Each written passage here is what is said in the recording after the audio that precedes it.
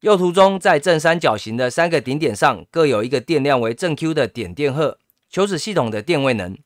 那我们知道呢，在算电位能的时候，每两个点电荷它们之间就会储存一组电位能。这个电位能的大小是不是就是 L 分之 K Q Q，对不对？好，那左边这边也有一组，你就再算出来，哎，它也是 L 分之 K Q Q。那右边这一组也是 L 分之 K Q Q，所以总共三组，刚好大家都一样，我们就直接算一组，直接乘以三，就可以得到这一题的结果了。